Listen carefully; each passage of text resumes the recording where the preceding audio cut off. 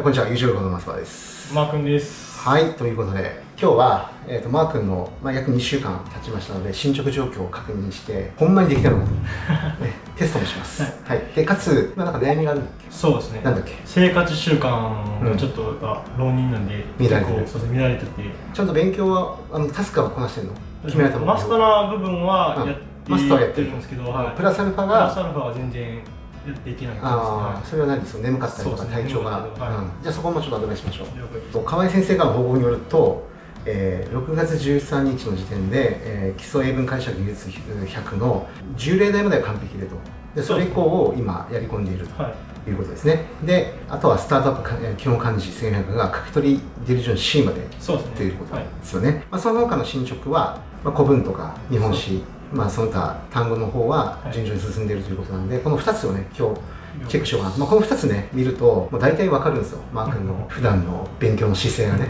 解釈の方は特にそのちゃんと頭使ってやってるかっていうのも分かるしスタートアップ基本漢字の方はちゃんと意味をね覚えているかつまり暗記がちゃんとできてるかどうかこれが分かるので早速ねはい。やってみましょう。じゃあちょっと参考してください。じゃあねはい。問題出しますね。はい。隠せるんですよね これではい、はいじゃあ最初の、えー All the people may、えー usually find it more difficult to acquire the new skills required by technological changes はいここの文章うん。はいここの文章の SVOC はいをまず答えてくださいまず、older people usually が S で、まあ usually はまあ福祉だからまあまあまあいいけど、はいうんはいでんで、うん find が V で、うんで、find OC なんで、うん。O、うん。it は O で、うん。more difficult to acquire までがうん。C ですかね。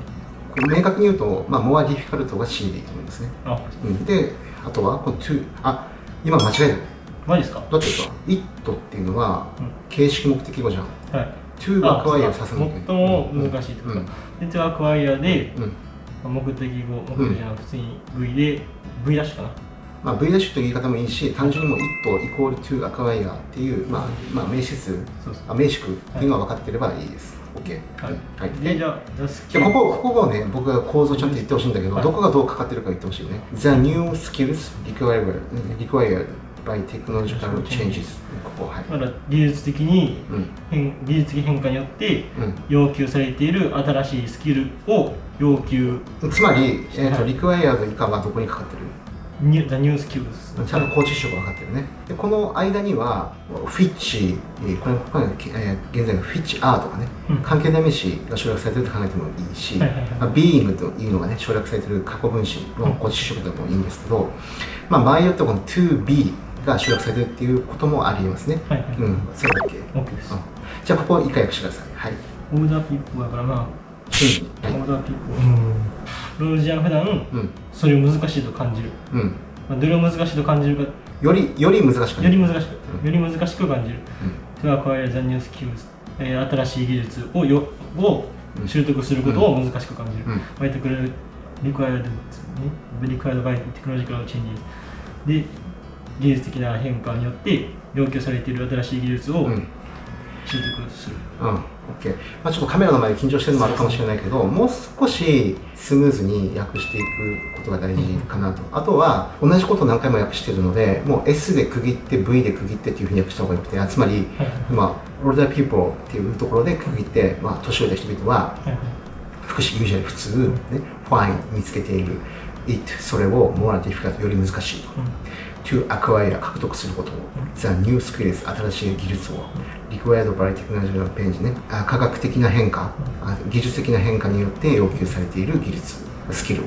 という感じで S で区切って英語日本語 V で区切って英語日本語という順番でやった方がいいかなと思います。まあギリギリかな もうちょっとスムーズにやってほしいね、英語をそのまま、うん、理解するとしてね。そうそうそう、うん。それにやってる、うん、まあそうだね、うん。まあそれはそれでいいと思うんだけどただこういう説明できるときにやっぱ完璧にはいはい。うん、滞りなく説明してほしいなと思いますね。うん、あとじゃあもう一問だこうかな。例題6。これもちょっとやろうかなと思いますね。河川部じゃないところを僕が攻めていくんでね。このね、上の1文、2文、A temple like that of Olympia うんっていうこの文章。う。ん、ここをじゃあまず S 拍子区切ってください。あ、tempo like that of Olympia までが S です、はい。この like 7のようなが前にかかってるからね。はい。was surrounded で V うん。が取り囲まれている、うん。うん。By, the, by statues of victorious athletes dedicated,、dedicated to the gods うん。で by からうん。gods までが、うん。まあ、M M でその中のこの中は？ここの構造とここがどこにかかってる？この構造は by statues of victorious athletes dedicated うーん。はい、 dedicated、はい、あのこれは過去分詞、そうですね。捧げられている。本当に？ん？過去形じゃなく、うん、は いでは、ね、はい、で、神に捧げられているうん。 victorious 勝った、うん優勝した。この後置修飾にちょうど分かってるわけですね。うん優勝した選手うん、の像によって取り囲まれている、あはあ、まあいいね。一瞬、これ de dicated、なんか意味わかん思い出せなかった。思い出した。い、あ全然あ、本当？ああ、そうか、なんかちょっと詰まったように感じる。でもちゃんと訳すからいいね。はいまあいいんじゃないですかね。要はこういう後置修飾でつまずく人もめちゃめちゃ多いんですけど、ちゃんとここはクリアできてるから、まあいいんじゃないですか。まあ、まあやってますよ。えまあこれぐらいのやっぱりやり込みっていうのは最低必要だから、もう少しだけ復習重ねて、もっとスピーディーに、もうさらに早く言えるかということをちょっとトライしてやってください。まあいいと思います。基本的な勉強法は間違ってない。はい、じゃああと漢字。カバーってね、使えるよね。難しめのところにしようかな。これ中学レベルといっても結構難しいからね。そうですね読みとかめっちゃ難しいですね、ね、はい、さっきの解釈と比べたら結構勉強のレベルは低いからね、漢字は。問題です。はいはい。この漢字の読み方と意味を言ってください。抑制ですか？抑制。抑制あ、意味はい、意味は？意味は、うんまあ抑える？なんちゃらを抑制する、うん。まあ、抑えるだね。そう抑えるですね、はい、勢いが盛んになりすぎないように抑えて止める。うん、まあ。これ。皮肉ですか？うん。皮肉なんていうんですかねうん。ダメですね。遅い。もう一瞬で言わないと。うん。まあ、意地悪く感じさせる様とかね、あいにくな様。そうですねアイロニーね。あるのはい、ダメだよ。遅いよ。もっとスピーディーに言えないと。そうですねうん、か一瞬考えてるよじゃダメだ。いなんか文脈なかったらやっぱちょっと厳しいですや、ねそれが言い訳だ。あマジですか要は、その漢字の書き取りとかどうでもいい。読解においては意味が分かればいいから意味をスラスラ言えないっていうのは致命的です。マジですか？難しい解釈の方ができてるのに、はいこっちができないと単なる怠慢だから、もっとやりなさいよ。了解です、はい頑張りますそのところでつまずいてるんじゃないよ。はい OK? OK ですはい。まあ、あの、受験生の方はね、結構その、ゆっくりだと言えるってことが結構あるんだけど、難関次第目指す。ね、難しい試験ですから、そんな簡単な言葉でつまずいてるんじゃ全然ダメですね。はいうん。だから、もうサクッと言える。了解ですはい。ということで、抑制は早かったと思うけどね。そこの、まあ、全てをはいそのスピーディーにやっていくってことを意識して、す全てを抑制、ね、抑えることって言えるぐらい、パパパッとできるようになってください。はいはい。ということで、じゃあ、生活習慣ですね。そうですねうん。えっと、今、睡眠時間何時間？睡眠時間バラバラあ、まずそれがね、はい。そうそううん。はい。寝れない日とかうんあったりとかして、うん。バイトが大体12時に夜の12時に終わってで、1時に寝ようとしてんだよね。1時に寝ようとしてるんですけど、うん。でも寝つけない寝つけない日やったりすぐ寝つけれ寝つけれて、うん。で結構寝てしまう日うん。もあったりとか結構寝てしまう日っていうのは寝つけなかった時じゃないの？ああ全然そんなことないですね。もうスッて寝れた時の方がうん。早く起きれなかったりする時あるんですよ、自分の中でその何がその、まあ、要は多分睡眠がすごく大事で睡眠がしっかりとれたら学習の効果ってすごく上がるんですよ。だから睡眠をとるっていうのがすごく大事なんですね。適切に眠りについた状態で。だからそれをちょっと作っていかなきゃいけないですね。でどういう時は寝やすくてどういう時は寝にくいみたいなこう分析ないの自己分析でも完璧に疲れてる時には、うん。もうすぐうん。寝れてうん。あんまり疲れてないなエネルギーが荒れまってる時は。そうですね。なるほど。